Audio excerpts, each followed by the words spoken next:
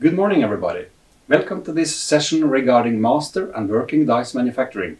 I'm Ståle Løkken, and I'm the CEO of Mint of Norway. Mint of Norway was founded on King Christian V's orders in 1686.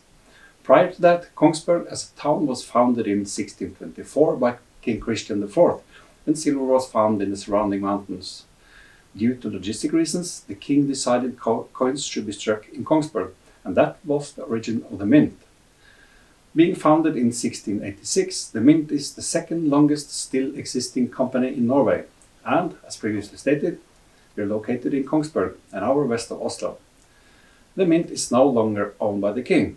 Since 2015, Samlerhuset Group has held all shares. Mint of Norway is Samlerhuset Group's largest supplier of medals and commemorative coins. In addition to that, we are competitive on the circulation coin market and have deliveries to several central banks. As a curiosity, I can mention the Nobel Peace Prize has been struck at the Mint since 1902.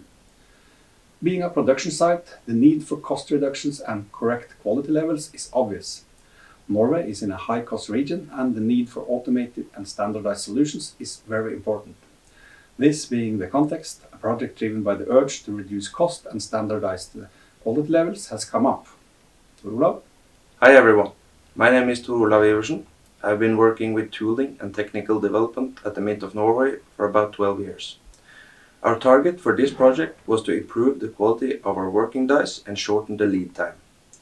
With the right combination of milling strategies and cutting tools, we saw a possibility to reduce the milling time and avoid manual retouching.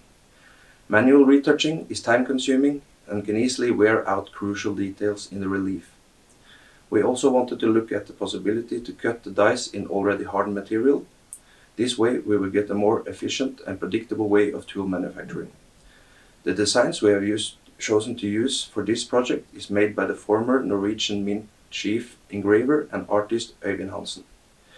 When we started the project, together with Röders and Kongsberg Mechatronics, we came up with the idea of also doing polishing of the dice with an automated process. Spaleck had a solution they meant was suitable for die relief polishing, so they joined the project. Over to you, Oliver. Thanks, Ståle and Ole. We are glad to be part of the project to optimize the production of dies. But first I would like to introduce Röders. We are a more than 200 years old family-owned company in northern Germany. Base for our business was the casting of pewter. Now we are also a big supplier for molds for PET bottles. About 30 years ago, we started to develop and build high-speed and high-precision milling machines. Several of these machines had been delivered to the coin industry, so we know quite well the needs of this business. Based on that, we developed the new approach in this project group, which I want to explain in the following. The new approach was to use standard ball nose cutters to cut um, dies, as they have several advantages, like always the same quality of the tools. They are available at reasonable prices in different sizes. No special knowledge is necessary anymore to grind. The standard tools quite often is used nowadays. Also, hardened steel can be used, which is a really big advantage. And of course, higher speeds and feeds are possible, which reduces tremendously the machining time. There's one point we have to look on on the standard ball nose cutters. It's the chisel in the center of the tool where uh, the cutting speed is zero and so the cutting conditions are quite bad. For a good quality at milling, we should avoid to cut in this area. And the idea to do so is to do an inclination of the workpiece. If you look on the left, we have a horizontal standard workpiece in the center cutting speed zero, quite bad cutting conditions. If we do like given on the right side, an inclination by some degrees, 8 or 10 or 12 um, degrees, we are out of the cutting with the center of the tool, we cut in the radius, and there we have cut some cutting speed, so very good cutting conditions, which should lead to good surface quality and of course also good cutter lifetimes. Um, to do so, we need uh, some clamping, which is a little special. You, we see um, a pallet was, was prepared with an angle to hold the workpiece. And of course, also the machine control has to support this. So we need an automatic probing cycle that can probe an inclinated workpiece. And of course, we need also a processor that prints uh, NC code that automatically shifts and tilts the program as we have, of course, a 3D program, a three axis program, and still runs at three axis, but has to be inclinated by the angle of 8 or 15 degrees or whatever. Very important for the operator, of course, no manual interaction is necessary. This is fast and, of course, which is also important, fail safe. Now we can have a look on how it, cutting is running. We cut with the standard nose cutters.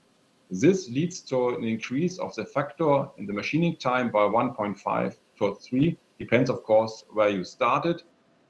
You can see on the video we use a standard strategies, that is barrel uh, for finishing.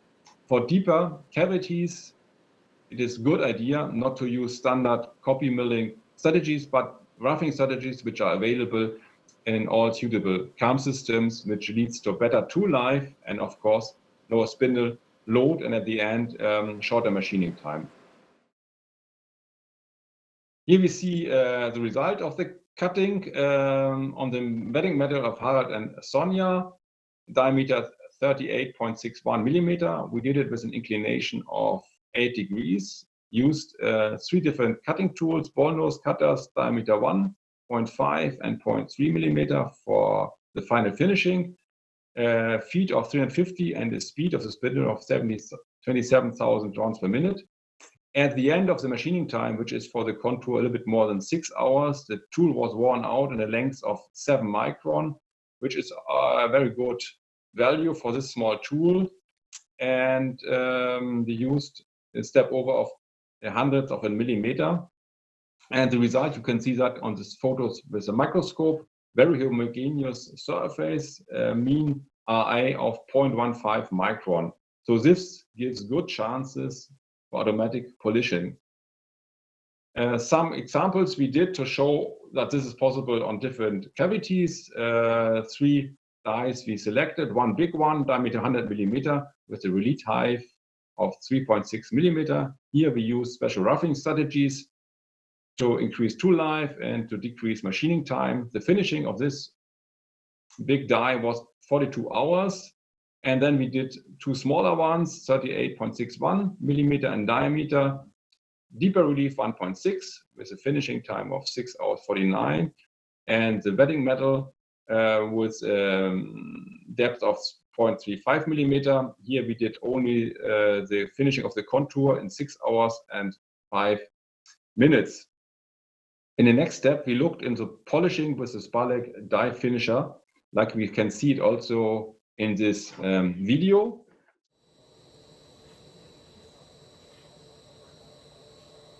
Spaleck die surface finishing for bodies as well as for dies with relief preparation and reconditioning. The results are very nice, like we can see on these two examples. So automatic polishing without any manual retouch was possible. In detail, we can see uh, this on these two details with microscope on the left, in each case, the mill surface, on, the right, um, the mill surface after polishing without any manual retouch. So the surface quality was really good enough to do production of coins, which was done by the Mint of Norway in this example with a silver metal without any manual um, hand retouching of the di master die and the die. And for the summary, I would like to pass over to Tole. With Röder's high precision milling machine and new milling strategies, we managed to achieve a very high quality surface with a shorter machining time. Combined with Spaleck's polishing technology, we can polish the relief on a coin and metal dies without any use of manual work or touched by hand. Thank you. Thank you for your attention. We are looking forward to your questions and the upcoming discussion.